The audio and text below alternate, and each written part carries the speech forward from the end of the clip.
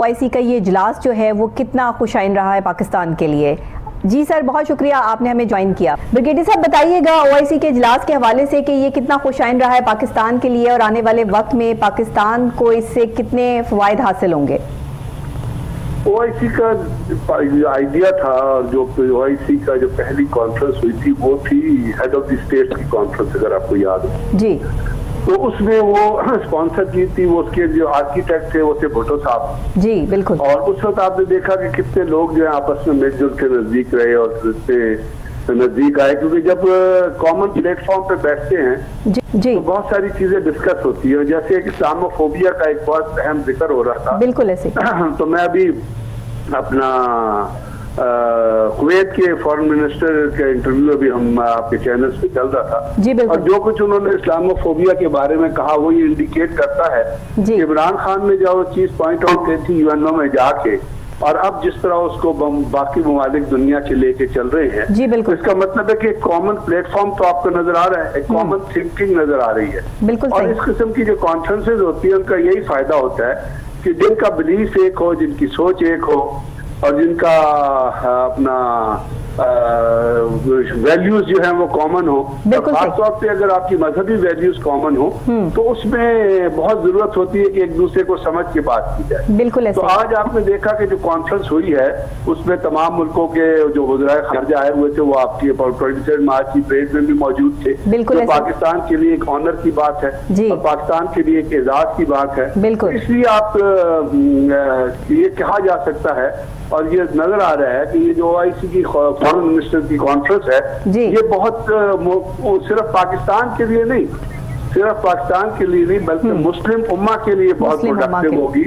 कम से कम एक common platform पे बैठ के सोचने का तो मौका मिलेगा। बिल्कुल ऐसे तो इसलिए मैं ये समझता हूँ कि बहुत सारी कामयाबी हमने हासिल की है इस चीज़ में। और इस चीज़ और इस चीज़ में जो है चीज़ें जो हैं वो एक साथ चल रही हैं बिल्कुल अहम नकात पे बात हुई है अहम पहलुओं को जो है वो मद्देनजर रखा गया है जिसमें मुसलमानों पे होने वाले मजालिम पूरी दुनिया में ख़ास तौर पे कश्मीर में फ़लस्तीन में अफ़गानिस्तान की जो है वो अ, के हवाले से भी जो है वो इसमें वज़ीर अजम पाकिस्तान जनाब इमरान खान साहब ने बात की है तो इस हवाले से भी बताइएगा।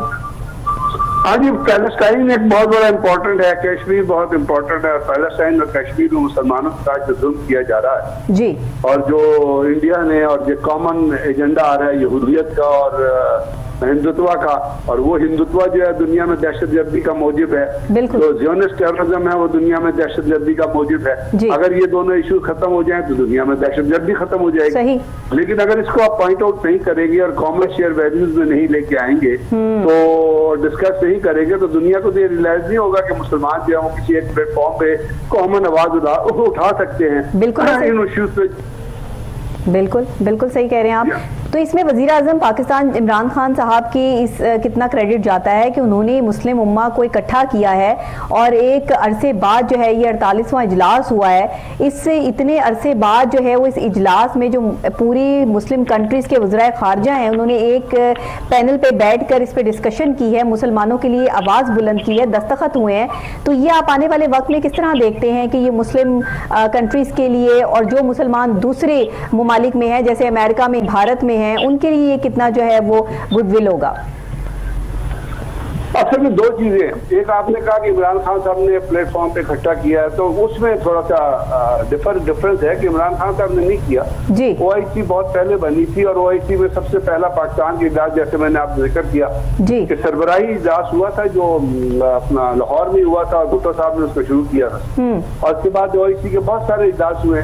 बिल्कुल वो तो हुए हैं अंदर जो इस वक्त जो इश्यूज़ रेज हुए जी और खास तौर पे जब आप बात करते हैं इस्लामोफोबिया के हिसाब से बिल्कुल, बिल्कुल, आपसे से बिल्कुल। वो इश्यूज़ रेज हुए हैं या आप इकोनॉमी को देखें तो मुस्लिम ममालिक की इकोनॉमी का कंसर्न जो है वो जो इश्यूज़ रेज हुए हैं वो पहली दफ़ा रेज हुए हैं किसी सरबराही कॉन्फ्रेंस में या सॉरी। फॉरेन मिनिस्टर्स की कॉन्फ्रेंस में। बिल्कुल इसका क्रेडिट खास तौर पर जैसे मैंने आपसे अर्ज़ किया कि इस्लामोफोबिया और उसकी रियलाइजेशन का क्रेडिट जो है वो इमरान खान को जाता है। बिल्कुल, जो उन्होंने पहली दफ़ा इस टॉपिक के ऊपर यूएनओ में बात की थी और उनकी बात को सुना भी दिया था। बिल्कुल। मुख्तलिफ़ ममालिक में उनका ज़िक्र भी हुआ था।